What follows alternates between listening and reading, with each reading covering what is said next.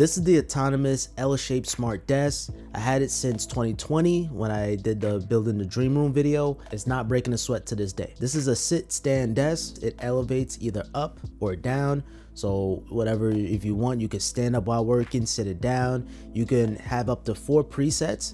So in my case, I only use two. And if you plan on getting a desk and it's gonna be in the corner, the L shape is the way to go. It actually just flows a lot more smoother than just getting a standard desk. And you don't really see too many L shape desk setups on YouTube. That's added another layer of being unique, L shape.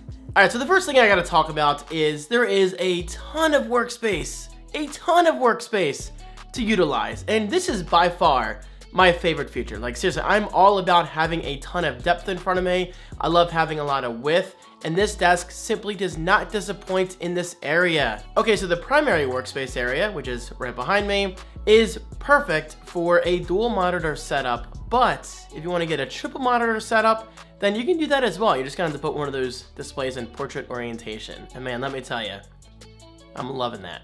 Loving it. Game frustrating. Let's move on to the build quality. This area does not surprise me one bit because I expected this uh, because I watched a bunch of autonomous videos before buying this desk because I will say it's not cheap. It's not cheap. I'll talk about that in a bit. But yo, build quality has been excellent. Seriously, just excellent from top to bottom. It's extremely heavy extremely sturdy. Your monitors will shake a little bit, but only if you forcefully push on the desk.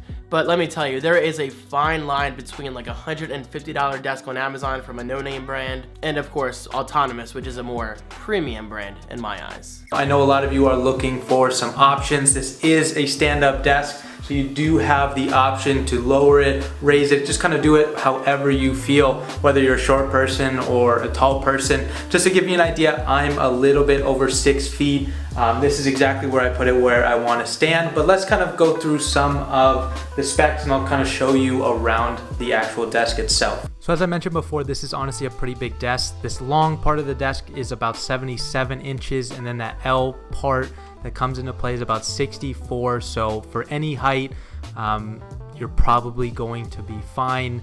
I got the white top. I think it's a super clean finish but you can change that. And then down here's the um, part where you can go up and down and then the numbers are presets you can set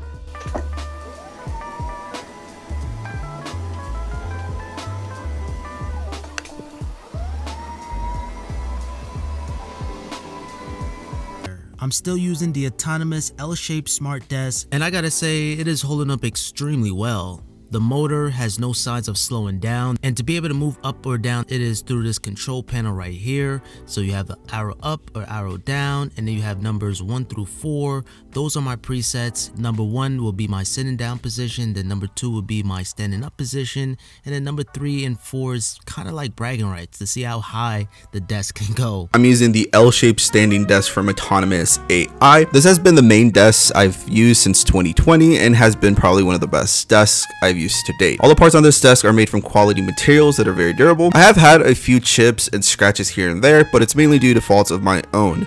Otherwise, the desk still holds up as the day I first got it. Definitely recommend you guys checking out Autonomous if you ever get the chance.